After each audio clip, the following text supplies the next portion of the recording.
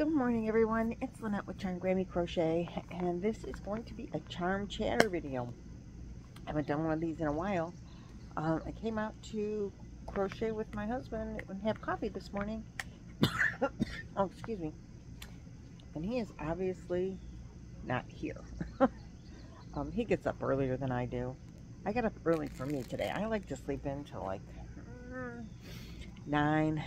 I got up at 8 um, and I believe he is next door at the neighbors. They have coffee together every day, either here or there. Um, today it's obviously there. So I thought, well, I'll do a crochet chit chat.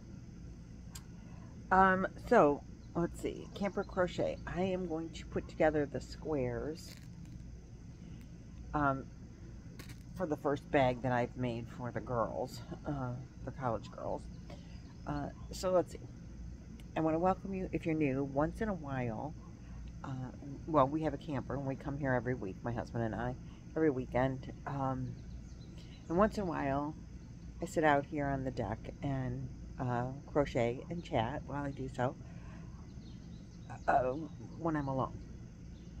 I'm going to do that now, versus anytime later today. We are going somewhere this afternoon. I'm going to play cards with a friend later. Um, and it's kind of, it's not cloudy, but it's like not very bright right now outside. I thought, gosh, is it going to rain? I didn't think it was supposed to rain. It doesn't look like rain outside, but it's not very bright and sunny either. I mean, but the sky is blue. You can't see it because you can only see the camper, sorry to say. Um, so that's what I'm doing right now. So welcome to my deck. And if you're uh, been around for a while, thanks for joining me on the deck again today. Oh, I have one end I didn't weave in. I didn't even notice. One unwoven. What's going on with that? We got to do that. Uh, so don't mind the noises if you can hear there's a dog barking in the background. Sounds like he's being abused, but he is not. Um, he does that all the time when they walk away from him or whatever. The kids aren't playing with him. He doesn't, you know, that's just how he barks at them. He, he doesn't bark, he yelps. A lot of people at our campground have pets. Um, so there are dog noises. You can hear the neighbor's dog. That's where my husband is. Their dogs bark. They have a, a about a two-year-old, and then they have an older one as well. And the two-year-old does not want to be in the camper along with when they when there is somebody in his space. If they're outside, he wants to be out there too. And he's not a bad pup. But you have to watch him, you know, so that he doesn't leave the yard. And the other one that doesn't bark as much, um, just because they're outside and he's not. I mean, he does bark too, but the younger one, Dewey, I call him Doo-Doo, he does the most barking. Um, because he doesn't, he doesn't want to be left alone inside. He wants to be outside. Um, but Bruno will run. So you can't have Dewey out and Bruno in. Because that causes conflict, apparently. Alright. Now we got to figure out which side do we want up front. I do turn these so there's not really a front and a back. I think we'll go this way and I'm going to do a single crochet join on my square. So these are not granny squares for Boggy Creek. I am making uh, like messenger bags for my granddaughter. Uh, I have a 21, well almost 21 year old granddaughter and she, I have four granddaughters, but my almost 21 year old goes to college. She's in her third, she just started her third year at Case Western Reserve University here in the greater Cleveland area. And I'll brag about her for a minute. She got a full scholarship. So we are extremely proud of her. I mean, we're proud of her anyway. Um, she has to pay for her room and board, but, you know, for her dorm, but she doesn't pay for her school. So, as I said, we are extremely proud, and um, she is dorming with four or three of her friends, and so I made them blankets. Uh, she asked me to make blankets for her and her friends. Well, she wanted one blanket to go on the couch, so they could big blanket they could all cuddle up in, if you know, for a movie night and things like that. Girls chit chat. So I made them four individual blankets of their favorite colors. I used Super Saver Ombre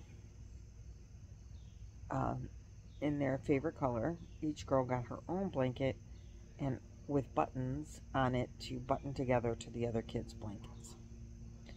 They loved them. I did a video showing um, with pictures of them getting them. And they were real thrilled. Uh, but I bought more yarn than I needed. So the Super Saver Ombre and white uh, acrylic are what made the blankets.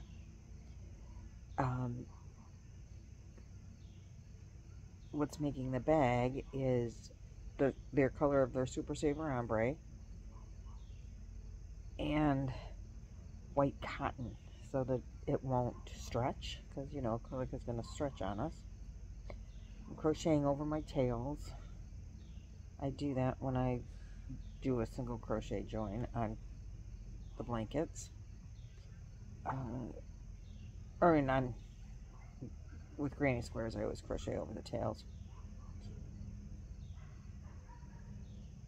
Knot it and crochet over it and cut it off. And no, oops, missed a stitch. So I'm holding together my, uh, then I, I bordered the blankets in a solid color. That was like the deepest color I could match um, to their blankets. So now I'm just crocheting these bags together and I'm using the join color to be their darker color. Hold on. So I'm putting this together and I'm thinking maybe I need to do a border of just two, like one row around of just the solid color to differentiate because as I'm looking at this, like you can't even see it's too busy. It needs that to break it up, don't you think? I think, and I'm not going to worry about one row of half double crochet or something being a a big stretch issue. But I'm going to have to do it around each square. And uh, for the back of the messenger bag, I just have one big solid square. Honestly, because it's faster. So, yeah, look at that. It definitely needs just, for detail, it's going to need that just solid purple. Um, for the border on there, on this, on the purple blanket, I use this Bernat uh, Premium in the color Deep Purple. So if it's not looking purple on your screen, it's very deep purple, not blue. I think that's what I'm going to do. I'm not liking it like this. I've started the second set of squares to crochet them in. I like it. It's too busy to see. Yeah, and if so, if I add a border here,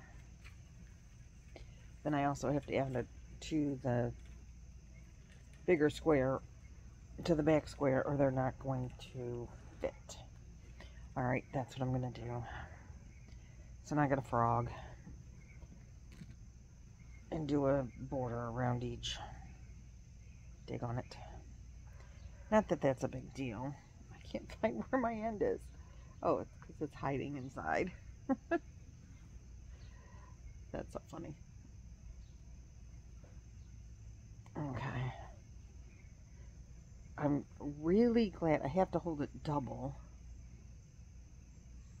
Um, because the two strands here. So if I just did one strand of the purple border, that would look really funny.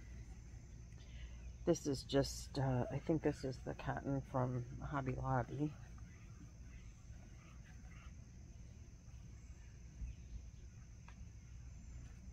So, I'm glad I brought all of my, oh, I can't get my knot on done here.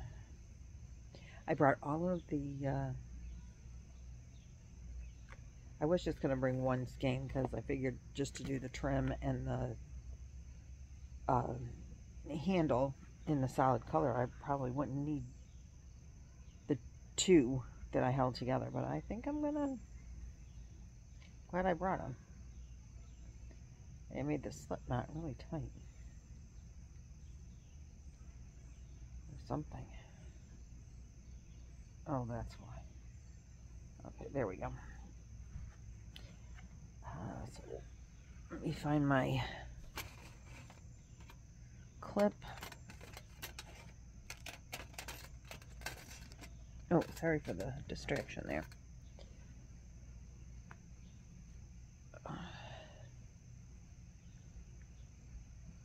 I always use, and I don't remember who I got this idea from, but I share it all the time.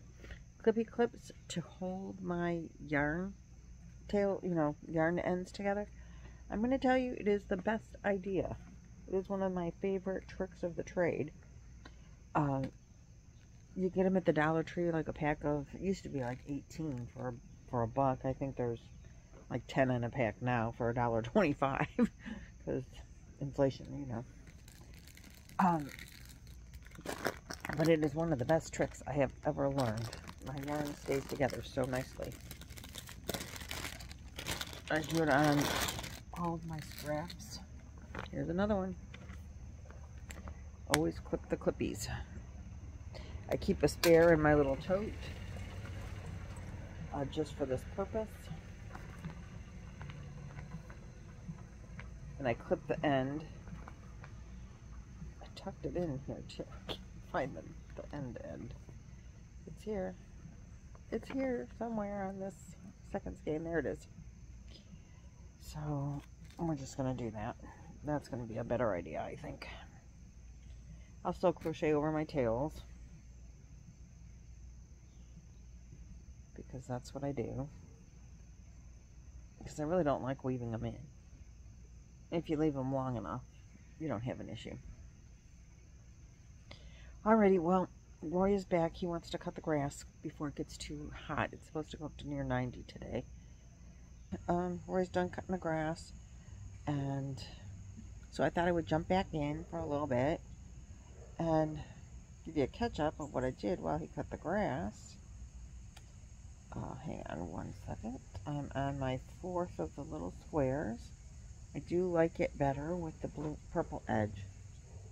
I think the purple edge is going to make it look so much nicer. So then I have the big one to do too. And Roy's getting ready to make breakfast for us. I do not cook on the grill. And honestly, Roy does the majority of the cooking around the house now. Um, so after after breakfast, uh, I'm going to hang out with a friend. We're going to play some cards or something for a little bit, her and I. And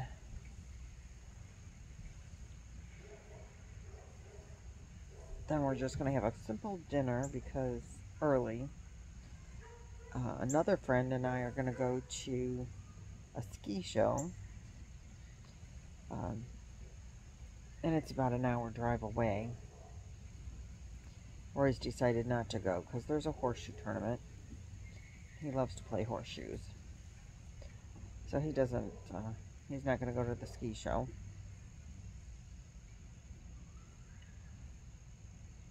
I'll have to do the driving for that. He does, uh, my friend doesn't drive. She's, she's never learned. She drives a golf cart. I said, you know, it's just like driving a car. she's afraid. So she doesn't. Um, so we're going to drive to the ski show and I'll see if I can get video there.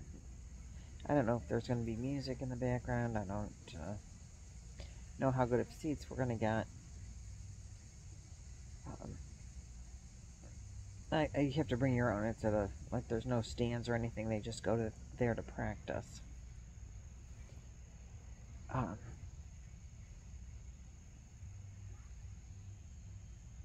so it's a practice session. and I don't know where they actually do. Oh, there's a cardinal. I haven't seen a cardinal on the feeder for a while. It's time for the birds to start migrating back to wherever they go for the winter. So we'll be getting a lot of birds again. Uh, I mean, cardinals are here year round in Ohio, but it's our state bird actually. Um, but I haven't seen one for a minute here at the camper. And in the summertime, Roy doesn't feed the birds at home so much because A, nobody's around to watch them, and B, uh, it brings groundhogs and raccoons and possums into the yard uh, that he doesn't want to have to deal with. And a skunk. we had a skunk this summer. And no dog to scare it off, which, um, on one hand, is a good thing because there's no dog for it to spray. but Roy also does not want to be sprayed. so he's like, I'm not going to feed the birds this summer. Which usually he doesn't. They have a, uh, he feeds them here because he sits here and watches them, but he doesn't feed them at home because he doesn't have the opportunity to sit and watch them.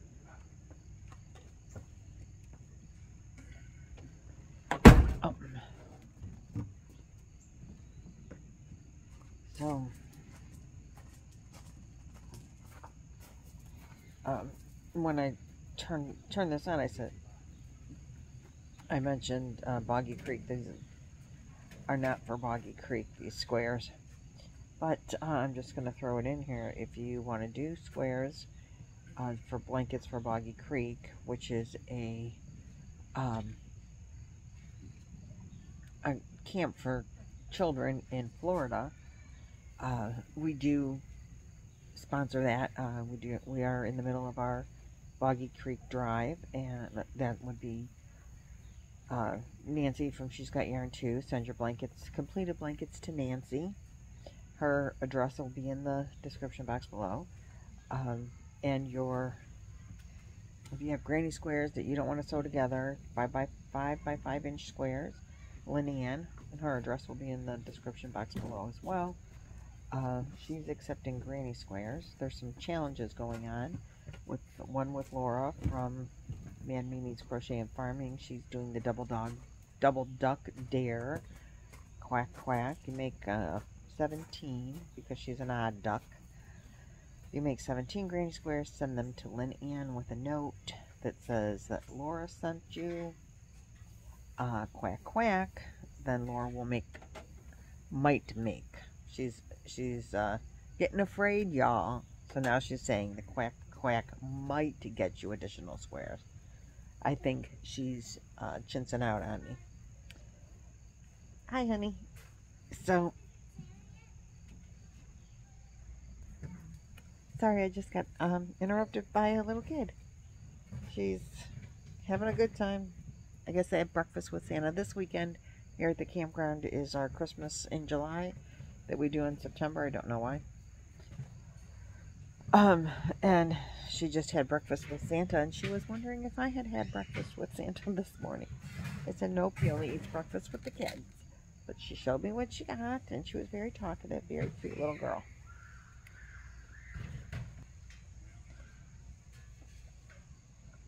So, um,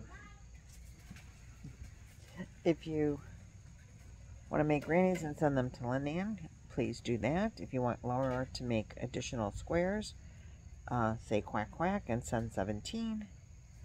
And then there's the challenge from um, uh, Jan, an Alaskan crafter. Uh, she's challenging everyone to make a blanket uh, that she's chosen four, no, five options of blankets to make. Uh, her her dream, her goal is that if you make uh, these blankets, send her a picture of the completed blanket by by the end of September. Um, they're granny, they're uh, stained glass looking blankets. She would love it if there was enough to be able to do that as a theme one for one week at the at the you know that all the blankets would have um, granny stained glass looking mosaic type blankets on the beds. So I have started one of those. Um, it, the one I'm doing is the polychromatic. Um, so she has five options, and uh, the fifth option is uh, the newest Granny Square uh, stained glass looking from Bag Day. So three pa patterns are from Bag Day. And that's all for Boggy Creek.